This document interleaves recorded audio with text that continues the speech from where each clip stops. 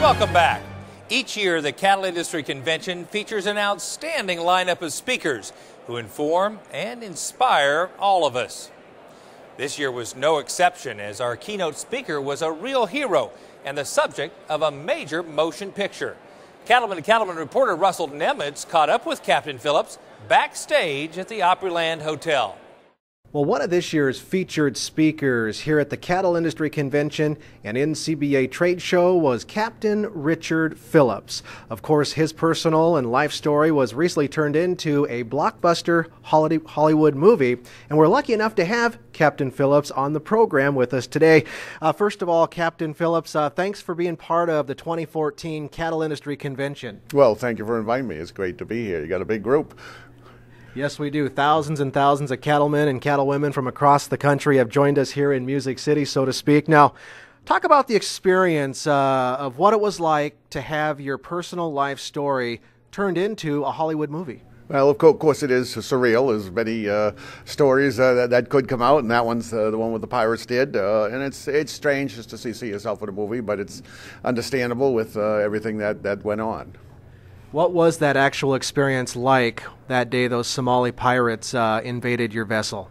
Well, uh, it was pretty much a sinking feeling originally, and then truly uh, uh, uh near despair once they boarded the ship and, and got to the bridge. Uh, but uh, the crew did a great job and were instrumental in the positive outcome, and working together, we were able to overcome the problem. Captain Phillips, did Hollywood do a good job of uh, portraying your personal life story on the big screen? Uh, I, I, think they did a good job. Paul Greengrass really boiled it down to a man in peril on the sea, and I think he did a good job. And of, of, of course, uh, to have uh, Tom play play you, uh, uh, you know, he's a pr- pretty good actor. The, the only advice I gave him when he came and talked to me was he's going to have to put on a little more weight and get a little better looking. what was your message to these cattlemen and cattlewomen here in Nashville at the Cattle Industry Convention?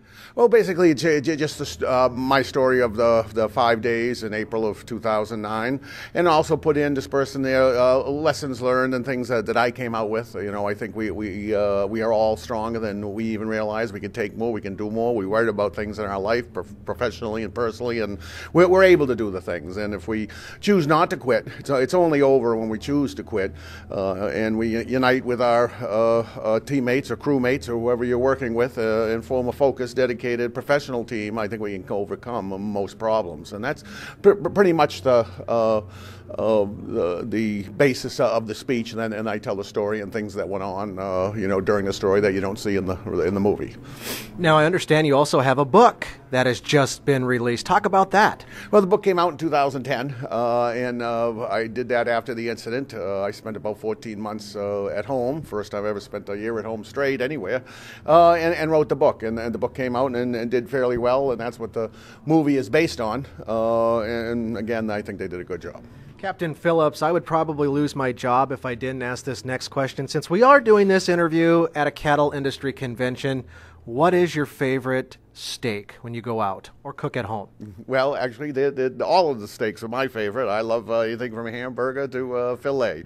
Uh, and uh, cooked right, uh, it, it's a darn good meal. Hey, thanks for taking a little bit of time for us here at the Cattle Industry Convention. Thank you very much. Thank you for having me. All right, Kevin, there you go. Not only can Captain Richard Phillips navigate the ocean's waters, but he can also navigate his way with a piece of U.S. steak on that dinner plate. Reporting from the Cattle Industry Convention and NCBA Trade Show here in Nashville. And for Cattlemen to Cattlemen, I'm Russell Nemetz. We'll go ahead and send it back to you in the studio.